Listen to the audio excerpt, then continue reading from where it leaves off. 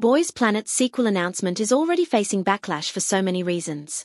Mnet has announced its new reality K-pop survival competition show, Boys 2 Planet, after the success of 2023 show Boys Planet, which formed Zero Base 1 out of its top 9 contestants. Boys 2 Planet will take a slightly different approach, though.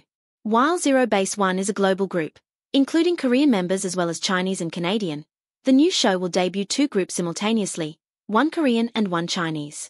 So, there will not be one global group like Zero Base 1. Netizens were shocked by the announcement of the new survival show. Yet, more than anything, the choice to debut two groups divided by nationality raised eyebrows. Boys Planet 2 happening meanwhile in watching four survival shows at once. And we will not be watching Boys Planet 2.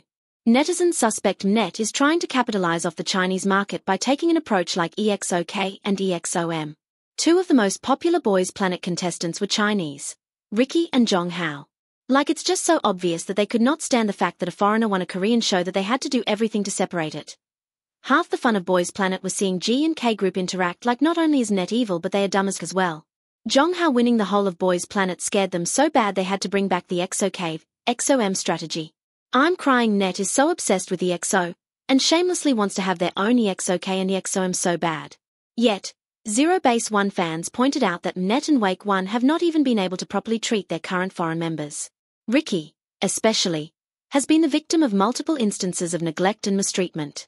Oh, this is pissing me off so bad WD C and K now for BP2? Are they trying to particularly enter Chinese market now? When bitch SMFS can't even treat the center P01 of Boys Planet who is Chinese, right? I hate this all QM net.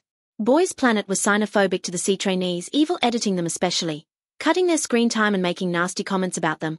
Couldn't swallow one debuting as the center and the other one as P04, treat them like Sechati and ZB1, but want to expand to C market now? Shameless. Fans believe Mnet never expected the popularity of Zero Base One's Chinese members, and was upset that a foreigner ranked number one became the center of a K-pop group. They suspect this is Mnet's response to ensure that history doesn't repeat itself. Zhang Hao doesn't own his success to anyone he proved himself and was voted as Group Center BC of his talents won every live audience voting with the highest score. His rank only keep raising and never dropped once had a 100% winning rate the entire show. He made himself debut ASP01. Imagine being so iconic that a whole ass company changes their system for the next program. Mnet why are you so afraid of Ricky's viralism and Zhang Hao Center impact? Likewise, Zero Base 1 fans feel it's not practical for Mnet Wake 1 to debut more groups when Zero Base 1 has already been seemingly mismanaged and poorly treated. So they're gonna debut TWO completely new groups when they can't even handle the groups they have now Elmfao Mnet is such a joke. Additionally, fans feel that the talent and dynamic of Zero Base 1 and the original Boys Planet cannot be replicated. Boys Planet went viral for many reasons.